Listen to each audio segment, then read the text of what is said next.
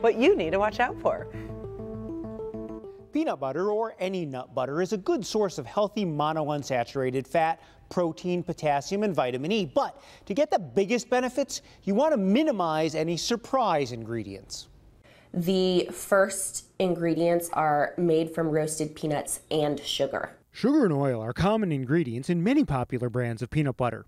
Even this one with honey doesn't mean it's only sweetened with honey. There are additional grams of sugar. To up your peanut butter benefits, dietitian Brittany Link says look for a jar that specifically says only one ingredient, meaning just peanuts. You just want to make sure that you're looking at the back of the ingredient label and seeing that it just says one ingredient. It's convenient with brands like this, but it's also possible to make a healthier version yourself by grinding nut butter.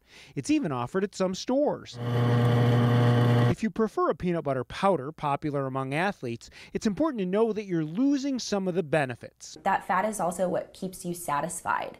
So if you're putting this into your smoothie or you're consuming something, I want you to also have some fat in there. Otherwise, you're probably going to end up going for more later. Dietitians often recommend pairing nut butter with a carbohydrate like fruit or bread because it helps to stabilize your blood sugar and keeps you feeling full longer. Back to you.